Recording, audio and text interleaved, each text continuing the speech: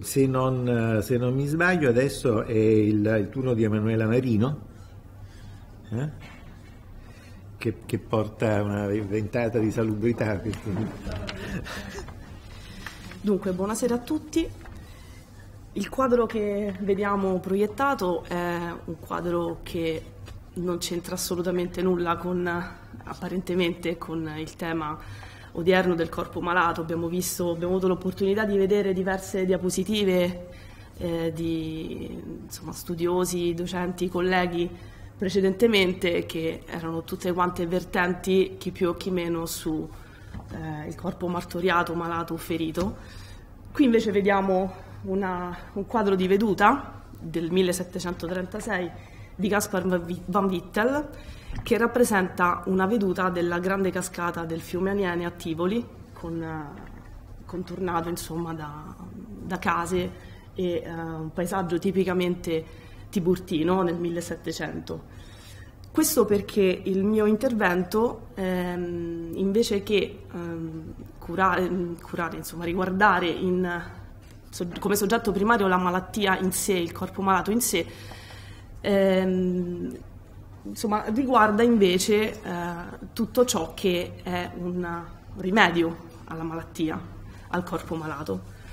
E in, uh, in questo caso particolare um, la mia ricerca riguarda uh, l'utilizzo delle acque del fiume Aniene e um, specialmente delle acque albule presenti anch'esse nel territorio di Tivoli per uh, cercare di debellare la malattia o perlomeno di dare sollievo a diverse patologie. L'acqua di per sé rinfrescante è sempre stata utilizzata a livello medicamentoso e curativo eh, per alleviare dolori di vario genere e eh, specialmente per dare sollievo agli innalzamenti di temperatura e ai disturbi derivanti dalle varie tipologie di febbri che durante i secoli si sono mh, susseguite.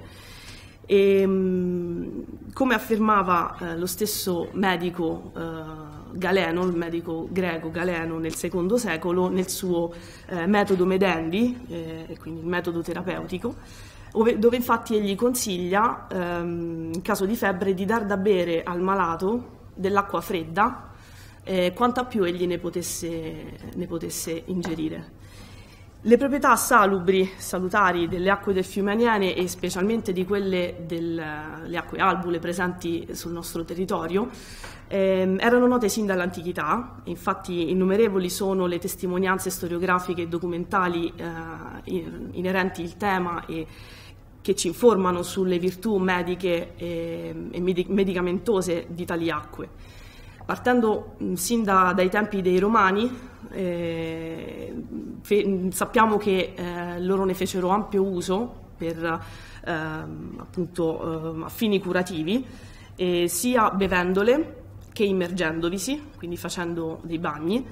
e tanto che ehm, le appellarono acque santissime e eh, questa eh, celebrità eh, di, di, queste, di, queste, acque, questa grande considerazione in cui venivano tenute queste acque sul territorio dai romani, eh, portò anche ehm, colo, que, codesti a venerarle eh, e a, valenza, a, dare loro una valenza religiosa. Infatti le acque albule vennero eh, dedicate a diverse divinità, vennero dedicate alle ninfe, vennero dedicate a Nettuno, ad Esculapio e alla dea della sanità Igea. E, um, era inoltre opinione comune, infine, sempre parlando dell'aspetto un po' religioso legato alle acque albule, che la Sibilla Tiburtina, che era eh, molto venerata soprattutto eh, nella cittadina di Tivoli, nella città di Tibur, eh, ma anche conosciuta e venerata moltissimo dai romani, eh, era opinione comune appunto che questa Sibilla ehm, avesse incantato tali acque e le avesse rese eh, buone a curare ogni tipo di malattia e di infermità. Alle loro sorgenti sulfure ed alluminose che distano circa 5-6 km da, dalla città di Tivoli vera e propria, nella località che oggi prende il nome appunto da, dalle terme che poi vi furono uh, costruite sin, uh, dai, tempi, dai, romani da, al tempo di Augusto, eh, che è Tivoli Terme uh, ad oggi, vennero costruite appunto le terme, le sontuose terme dette di Agrippa, volute, fortemente volute da, dall'imperatore Augusto, e che il, egli stesso eh, soffriva insomma, di, di, artrite, di reumatismi, di mal di fegato, di calcoli vescicali e di disturbi legati a, insomma, all'apparato nervoso, eh, soffriva di nervi. E, mh, tali acque vennero quindi utilizzate per eh, curare diverse patologie, eh, come possiamo vedere dalle varie testimonianze, patologie legate all'apparato vascolare, patologie legate all'apparato gastrointestinale, eh, insomma nel, vennero sfruttate per, uh, per guarire ferite, piaghe, malattie della pelle, quindi diciamo venivano utilizzate un po' in toto queste acque per, per qualsiasi tipo di disturbo di, o di malattia o di patologia.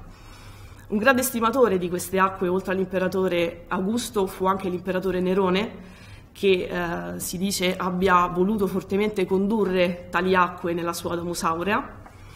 E, ehm, inoltre autorevoli nomi eh, in campo medico lodarono le, le qualità eh, salubri delle acque eh, albule e delle acque dell'Aniene eh, ancora il medico greco Galeno affermava che l'ingestione delle acque albule eh, provocasse giovamento alle vie urinarie in particolar modo, eh, regolarizzasse la diuresi e, e, desse dei benefici anche al tratto gastroenterico.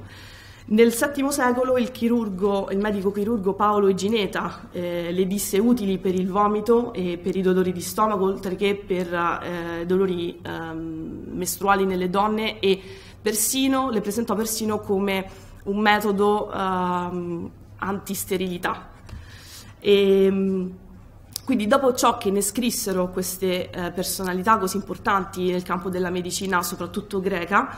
ehm, non si hanno più moltissimi riscontri, riscontri documentali per quanto riguarda i secoli successivi